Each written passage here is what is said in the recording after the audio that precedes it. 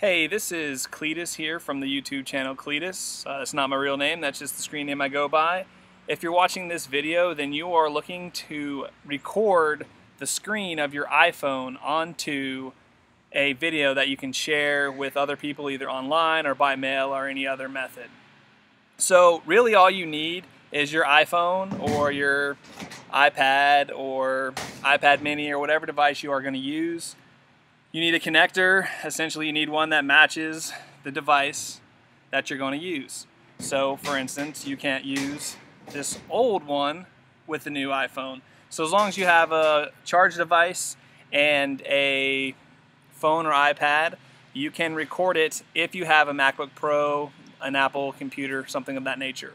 So what you're going to do is you're going to essentially plug in your charger into your phone or your iPad and you're going to connect it to your MacBook Pro or Apple computer.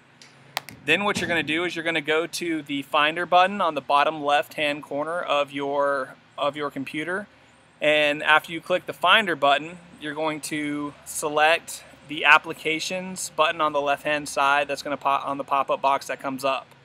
Once that Applications come up you're going to go down to the Queues and you're going to look for QuickTime Player. When you get to the QuickTime player, you're going to open it up. It's going to open up at the top just like your all your other programs do. And at the top of your screen, you're going to click File and you're going to click New Movie Recording. That's going to open up a screen and it'll probably be your MacBook Pro or your computer's uh, camera is going to automatically pop up. But what you can do is you can select an arrow, which is right next to the red button that'll pop up in the middle of the screen, and then you can select the phone or the iPad device that you've connected to the computer. Once you select that, you should then be able to see the display screen of your iPhone, iPad device. Uh, once that is done, you can hit the red button to start your recording and you can provide your own audio if you choose or not. And you hit the red button again to stop the video.